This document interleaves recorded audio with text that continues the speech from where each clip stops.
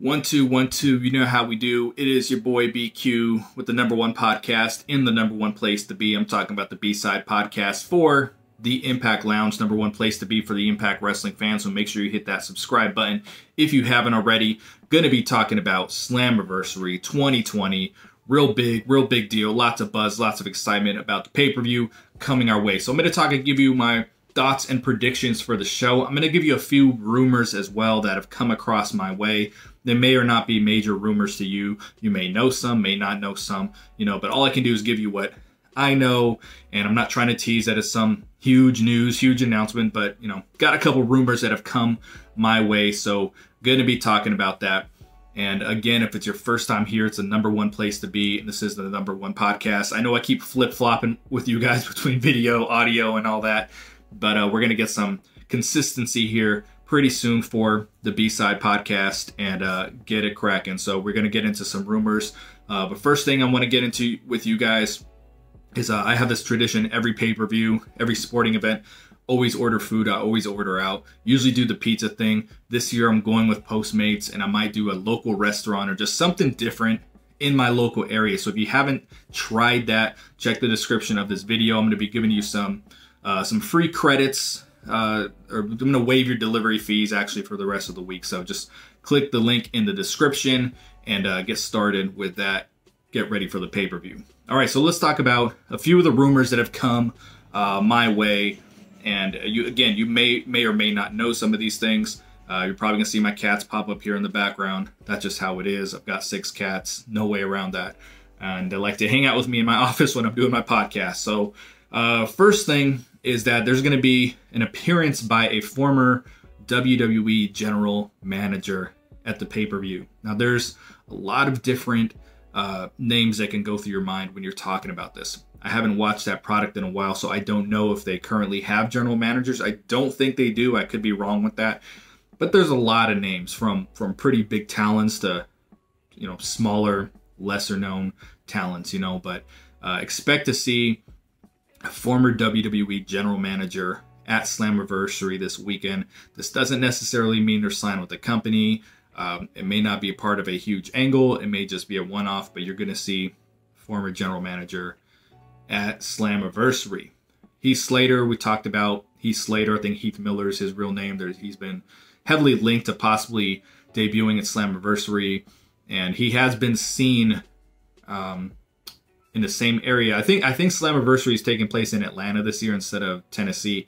So all the talent is in one place. He has been seen uh, in that area with the Impact talents, not with the Impact talent, but he has been seen at the same place they've been seen. So put it like that. So I think it's very possible that we're going to see him at the pay per view.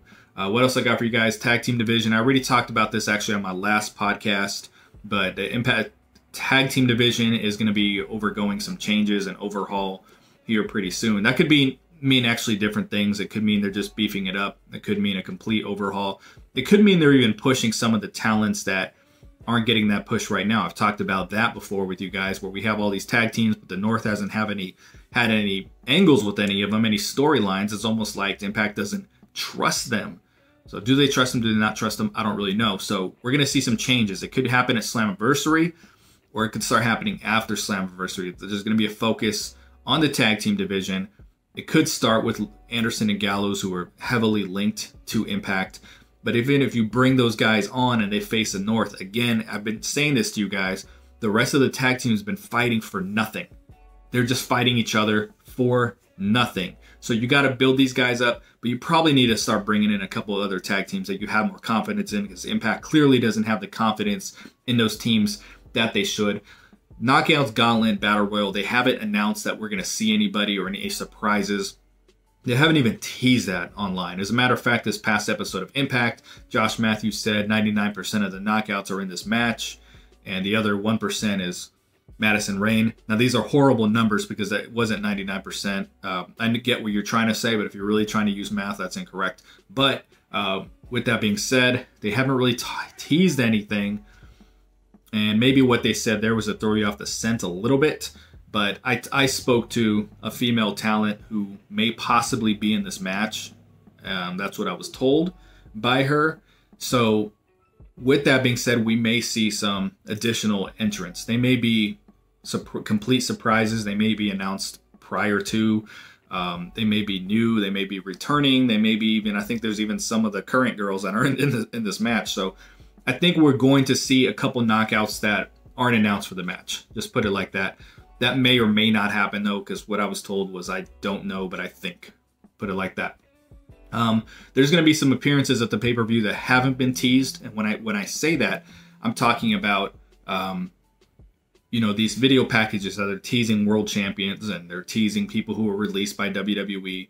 You know, even guys like Brian Myers, not former world champions, but you know, um, being were released by the company. So they've been teasing, you know, a certain group of people, a group of people who were former champions and big deals and just recently re- recently released. And then there's a group of people who are over here, some who were maybe released back in the day. Uh, I say back in the day, but I mean in, in, in the past uh, that aren't former world champions. You know, the, all the buzz has been about Group A, but from what I'm understanding, there will be a Group B, and it's going to be some of the people we've been talking about on social media saying, hey, we would love to see this person return, or what would it be cool if we saw this person, or you know so there there's going to be a balance. It's not just going to be hey we're going to beef up the main event scene you know with these wwe guys. There should be a balance with some people that um, we've been chatting about but they haven't been teasing necessarily. And you may or may not know this, but there's supposed to be a cinematic match at the pay-per-view, and I could I could see this as um, where we may see um, that former WWE general manager was talking about. Maybe we see them in, in a match like this.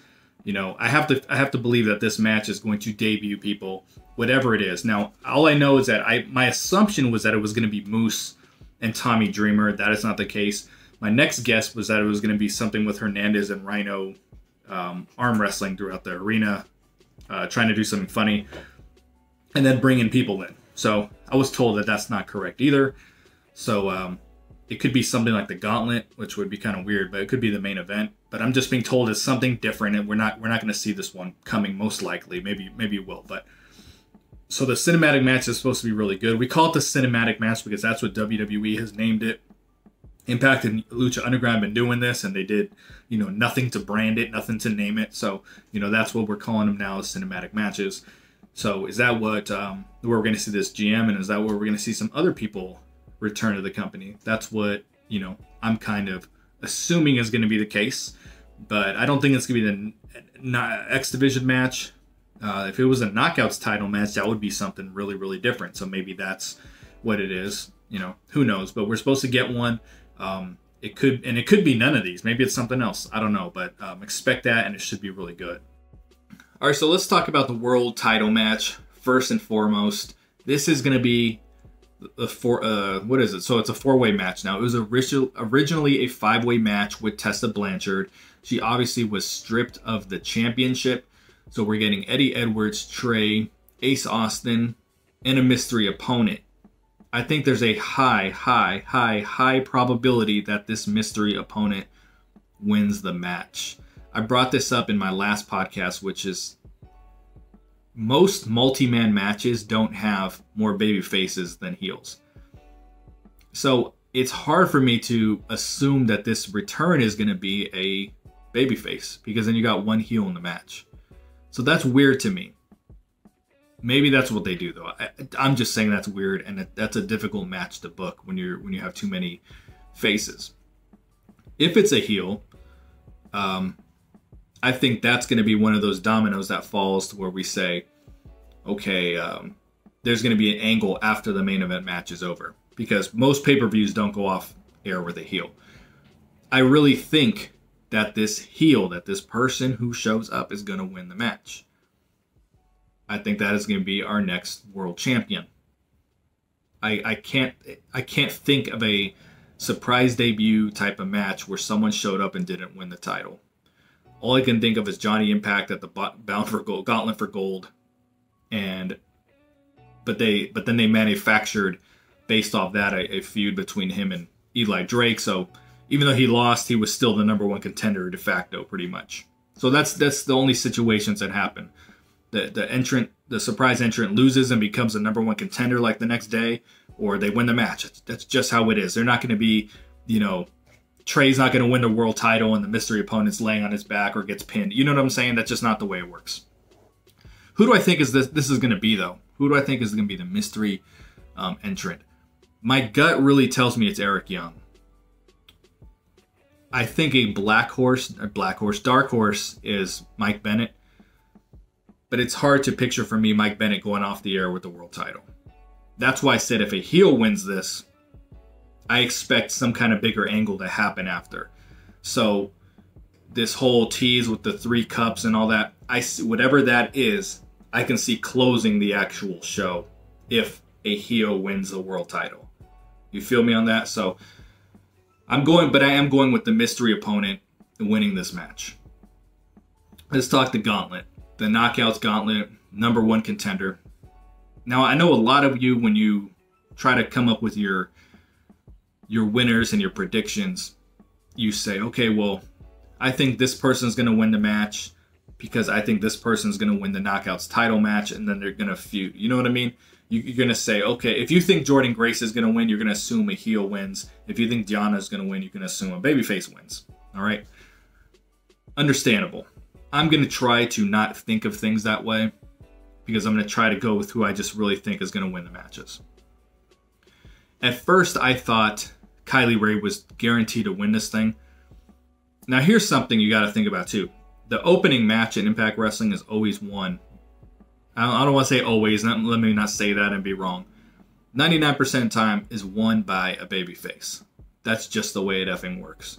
Uh, I think uh, Ace Austin did win one uh, at the top of the year. Might have been last year, but nine times out of ten, the babyface wins the opening match. So if that happens and a gauntlet match is first, you know, maybe Kylie wins this thing. I think Madison Rayne is your winner, though. I think she's going to win. I think um, her character right now, her character work is the best it's ever been, in my opinion. She's not overexposed in the ring right now because obviously she's on commentary. Her locker room talk has, has been pretty good. I didn't think it was going to last more than a week or two, and it's, it's been good. It's been consistent. So I think she's your winner. I have a hard time looking at some of the other girls and saying, okay, they're they're they're the winner. I don't think Taya. I don't think they're going to put her in the scene that quickly because remember they're going to start building up these tag teams here soon. So I think the tag team girls are more likely to lose the match, and the ones who are single in this match are going to win. So at one point, I even had Kimberly as a dark horse, but um, I think Madison Rayne's going to win this thing. Madison Rayne's been teasing that she knows stuff and that there's something big coming and something big is happening that she's involved. Uh, she didn't necessarily say she's involved with, but I just have this feeling in my head that we're going to see some sort of reformation of the beautiful people. Now, I know Angelina Love re signed with Ring of Honor in April, I believe. Uh, but it was maybe it was earlier than that. I'm pretty sure it was before the pandemic thing. Who knows what a contract status is with Ring of Honor with anybody at this point?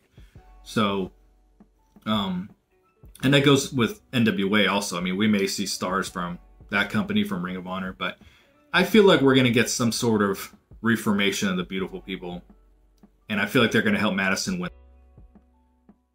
Now, if you if you go back to Madison wanting to do this whole uh, Madison Rayne Golden Opportunity thing, that completely disappeared, and then she acted like, well, I'm gonna I'm gonna debut the person who's gonna beat Jordynne Grace type of thing. That completely fell off the face of the earth.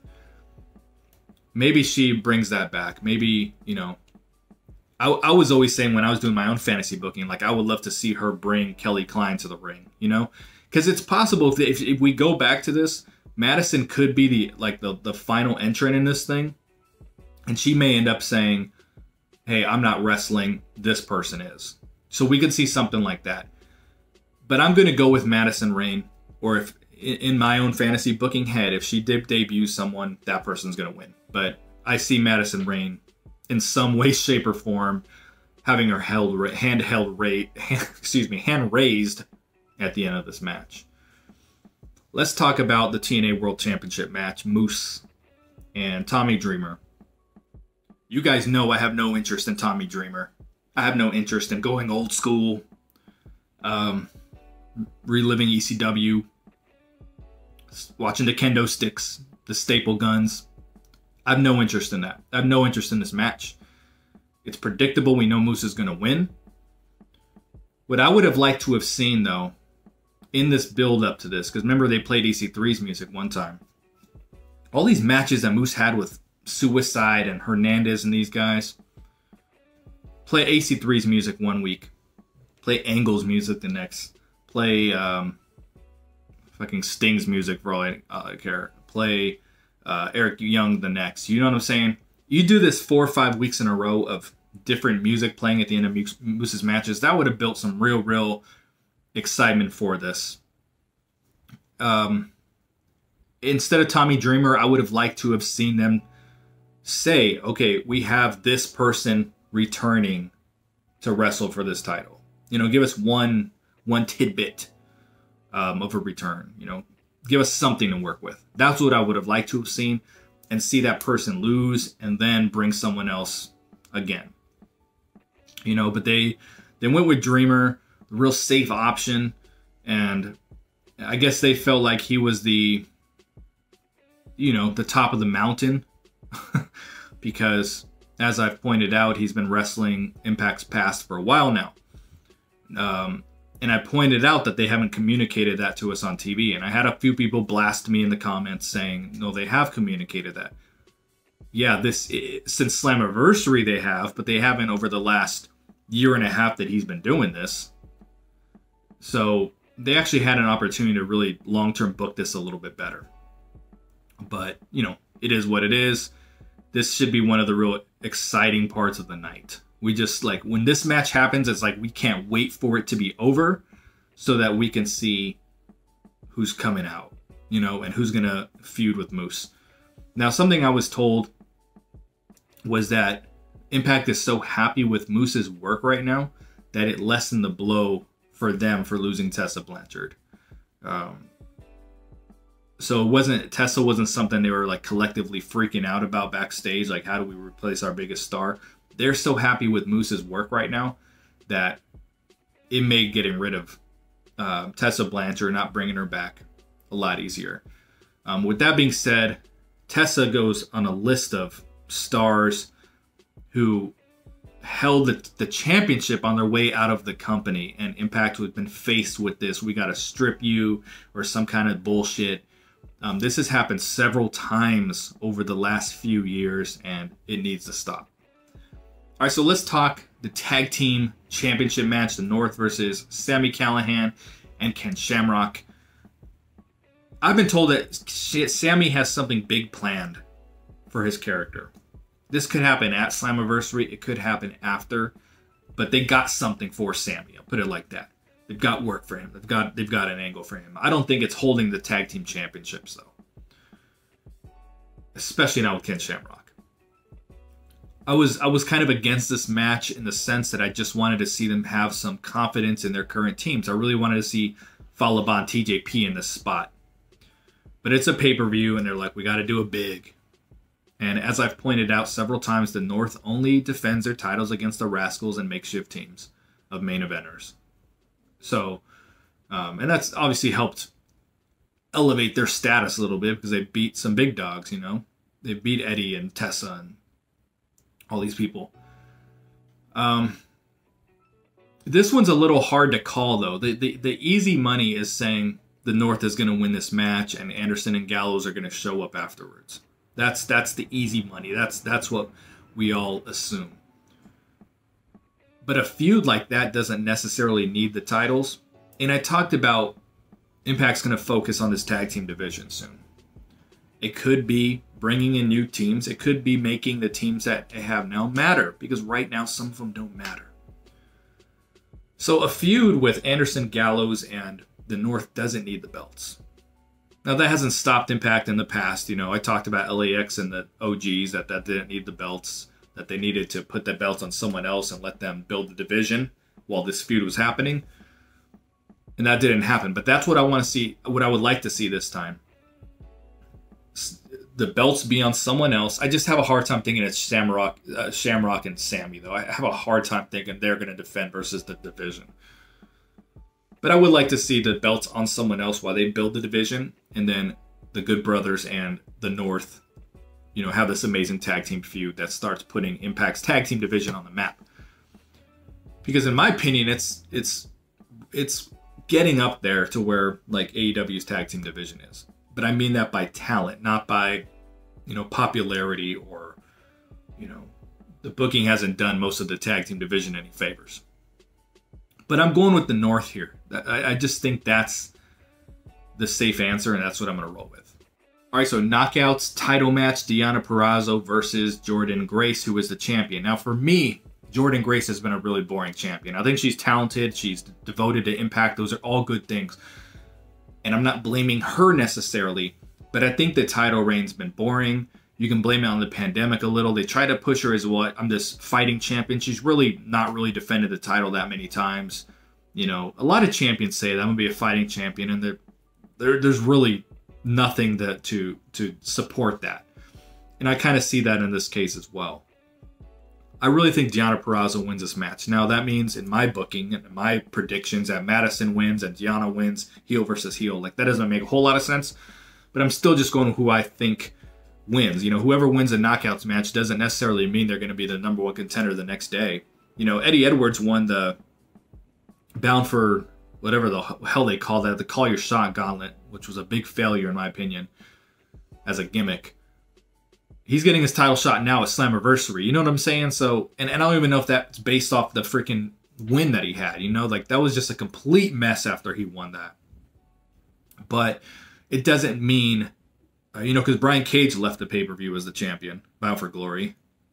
Him and Ed, Eddie didn't fight for the title. You know what I'm saying? So, um, I think Deonna wins this match. Much like I said with Tommy Dreamer, where they keep on on TV because of the YouTube numbers, like Deonna Purrazzo's got some pretty good YouTube numbers, and she has momentum and buzz right now. You know, at Bound for Glory, they said, okay, we're going to use Tennille Dashwood. Tennille Dashwood is a big name, but she has no, she had no buzz at the time. You know, Deonna's a different story because she left NXT, or she was released, but she asked to to be released. Um. Now you know. Now people want to see what she can do when she gets the ball and run with it. And she wants to prove that to people. So I have a hard time believing she comes over and loses. You know what I mean? And then just falls right back into the division. I see. Um, I see Deonna winning this thing. I just think she's got got too much buzz. I don't think that they Jordynne's doing anything for the knockouts title right now. So I think Deonna Purrazzo is your knockouts, you know, your next knockouts champion. Absolutely. Um, and then I even, you know, I even said many times on, on my shows that I thought she was going to go to AEW because they needed her. You know, we were lucky enough to get her an impact. She can work with anybody, and I think she should work with everybody. So I got I got her winning there's the there's the you know the chance that Jordynne wins this thing and then someone debuts after. You know we've been, we've been calling for Kelly Klein for quite some time, so maybe we see something like that. I, I don't really know, um, but I still got Deonna winning. Now usually a wrestling pay per view has one or two title changes and it's never all. It's never all, which I think I think it would be cool one day to just see them all change. So we're ushering in a new era. You know what I mean? But I think that the world title obviously will we have a new champion, and I think the knockouts division, uh, the knockouts title changes. I think Willie Mack absolutely wins this match with Chris Bey. You know, I kind of liked. I, I, I want to say because I've been real critical about Johnny Swinger. I've come around on Johnny Swinger the last few weeks, uh, especially when he dressed up as Suicide. I I, I came around, and then you even has sympathy for him this week when you found out Chris Bey was using him. But Chris Bey's the future of the X Division, but not now. He's not going to win it now. Um, Willie Mack is going to win again. Again, he to me he's kind of a boring champion, but I think he's going to going to run with it. When they said Swinger was going to be ringside, I thought that cleared the way for Rich Swann to just show up. So I would even be super shocked if Rich Swann was in the main event. To be honest with you, as the as the mystery person, I, I wouldn't be totally shocked even though I don't think that's the smart way to go because we're expecting to see a debut. But I think Rich Swann kind of shows up in some capacity and maybe helps Willie win. I don't think he's going to screw him over. I think that storyline had potential when they were taking on the North.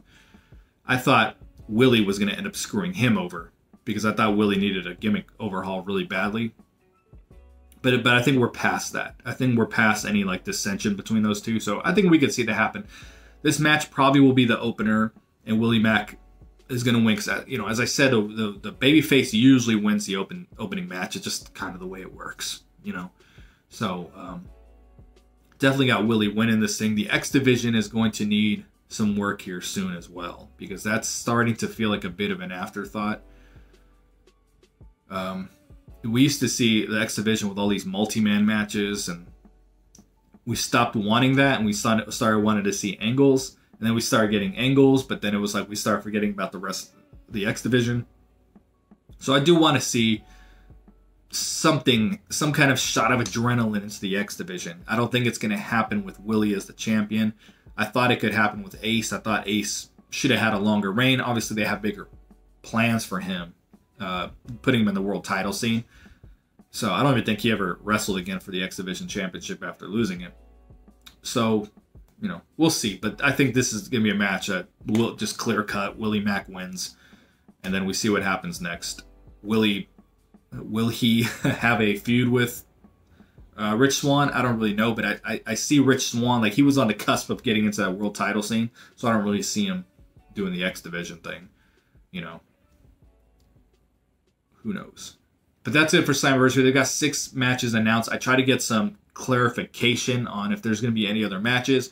I was just told, I don't know. There's just going to be surprises and debuts, and I don't know if that's going to mean extra matches or anything like that. Usually there's like eight matches on a card. Now, obviously, with the gauntlet, you know that's could go a little longer than a standard match. And maybe we get a surprise match on there. I don't know. Maybe Moose wrestles again after he beats Dreamer. I, I don't know. We could see someone wrestling a second time, though. I don't know. But all I do know is that Slammiversary looks amazing, and I think it's going to be a blast. I'm I'm not going to be reviewing Slammiversary, but I am going to be doing a podcast after Slammiversary. The plan is to live stream it because my new computer will be here by then. The plan is to live stream and um, talk about who appeared at Slammiversary. It's not going to be a review show, a boring review show. Like I'm getting away from that here at the Impact Lounge. It's just going to be, hey, here's here's all the big talking points. Here's all the people who showed up, and we're gonna get excited about that. Not about, oh, I think the booking was this and this. You know what I mean? We're just gonna get excited about that, and then I'll read off the results as well. So stay tuned for that, the B side, and the Impact Lounge, and I'll talk to you soon. Peace.